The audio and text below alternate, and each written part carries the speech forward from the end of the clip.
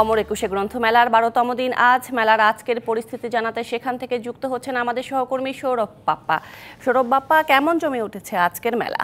কয়েকদিন আমরা যেটা দেখেছি মেলায়, বেশ ফাঁকা ফাঁকা একটা ব্যাপার ছিল। আজকে কিন্তু তুলনামূলকভাবে ভিড়ের পরিমাণ আমরা অনেক বেশি দেখছি। আজকে কিন্তু অনেক মানুষই এসেছেন। মাঝখানে যে একটা রাজনৈতিক অস্থিরতা ছিল, গতকাল যেমন হরতাল ছিল, অনেক মানুষের সংখ্যা কিন্তু আমরা কম দেখেছি। সেই তুলনায় আজকে কিন্তু বেশি মানুষ দেখছি। কিন্তু গতবারের মতো একটা টেকনিক্যাল কারণ বলতে চাই, যেটার কারণে কিন্তু গতবারের মতো ওই ঠাসাঠাসি ভিড়টা আমরা দেখতে পারব না। কারণ স্বাস্থ্যবিধির কারণে এইবার কিন্তু অনেকটা ফাঁকা রাখা হয়েছে মেলাকে। আয়তন বাড়ানো হয়েছে অনেকখানি এবং রাস্তাঘাটগুলো মেলার মাঝখানের যে যাতায়াতের পথ সেগুলো বাড়ানো হয়েছে। এত সব মিলিয়ে আমাদের এখানে অনেক পাঠক যেমন আস- আসছেন, তেমন দর্শনার্থীরাও আসছেন, লেখকরাও ভিড় জমাচ্ছেন। আমরা এখন কথা বলতে চাই একজন, এই সময় একজন লেখকের কাছে, যার বই এই বই মেলায় এসেছে এবং আমরা তাকে এখন সরাসরি যাচ্ছি তার কাছে। আচ্ছা এইবারের বই মেলা আপনার কোন বই এসেছে বা পরিস্থিতি কেমন লাগছে? এইবারের মেলাটি, বিলম্বিত এই মেলা কেমন লাগছে আপনাদের কাছে?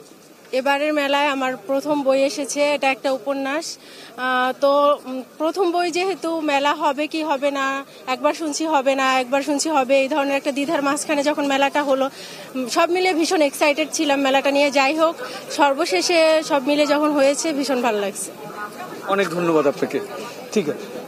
তরুণী শুনছিলেন এরকম একজন লেখকের কথা, নতুন একজন লেখক যার প্রথমবার এবার মেলায় বই বের হয়েছে। এরকম অনেক বই কিন্তু বের হচ্ছে এবং আজকেও কিন্তু একশো আটটি নতুন বই বের হয়েছে এবং সব মিলিয়ে এই আজকে বারোতম দিনে মেলার বইয়ের সংখ্যা দাঁড়াল তাহলে এক হাজার চারশো আটানব্বইটি বই, মোট এক হাজার চারশো আটানব্বইটি বই।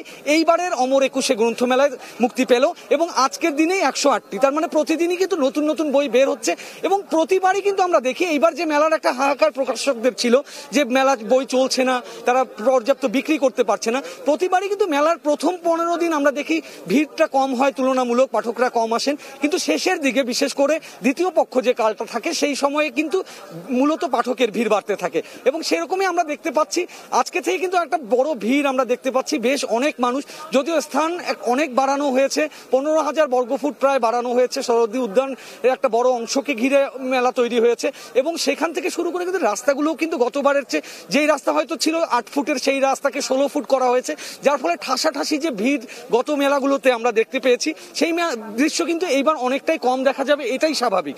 কিন্তু সেই তারপরেও প্রচুর মানুষ কিন্তু আসবে ধারণা করা হচ্ছে এবং স- হ্যাঁ, সব সবকিছু মিলিয়ে আমরা যেটা মনে হচ্ছে পাঠক বাঙালি পাঠকের যে বইয়ের প্রতি ভালোবাসা এবং বইয়ের পড়ার যে টান এবং এটা থাকবেই এটা ধীরে ধীরে জমে উঠবে মেলা এবং আশা করা যাচ্ছে প্রতিবারের মতো এবারও অমর একুশে গ্রন্থমেলা দ্রুত জমে উঠবে এবং লেখক এবং প্রকাশকদের আশানুরূপ তারা ফল পাবেন।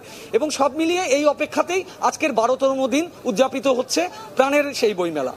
তরুণী বইমেলা প্রাঙ্গণ থেকে এই ছিল সর্বশেষ সংবাদ। সৌরভ বাপ্পা, অসংখ্য ধন্যবাদ আপনাকে মেলার সার্বিক পরিস্থিতি জানানোর জন্য।